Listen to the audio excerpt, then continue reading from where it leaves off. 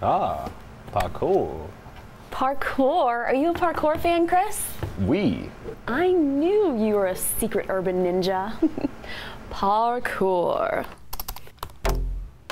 Le parkour, sometimes abbreviated to PK, is a physical art of French origin, the aim of which is to move from point A to point B as efficiently and quickly as possible, using the abilities of the human body to overcome obstacles in the surrounding environment. Parkour. Anyway, you guys have probably had a friend or two send you a link to a video before, right? Well, more often than not, that link is then continually passed on throughout the online community, thus the term viral video. Now, there isn't one type of video that will guarantee you fame on the internet, but let me give you a few tips on how you can get started. Chris, start the clock. There you go. Thank you, sir. Now, the quickest and most painless video to create is the video blog. Just set up your computer and webcam and then begin talking about your day. Now, be sure not to quit until you feel you've fully captured your audience. Today I went to the market and I bought some meat to make a ham sandwich. I mean, that's perfectly fine, but I like eggs a lot.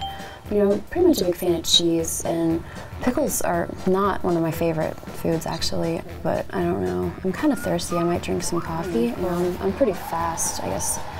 You know, I would like race horses. You know, I would go out into the farm and I'd be like, come on, let's go. You know, I can totally run faster than you. Actually, I just want to tell you a story uh, about my friend Desiree. Sometimes she'll like come into my room and punch me in the face. How I feel about getting. Yeah. All right, just remember, these aren't your only options. Use your imagination. One of the best parts about viral videos is there's no limit to your creativity.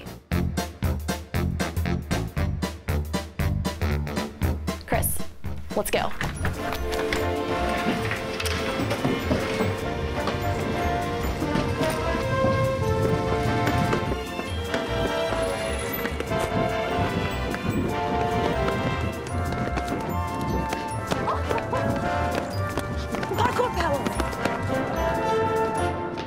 Oh man, I have a hernia or something. I bet I could look it up on Wikipedia and get uh, exactly what it means.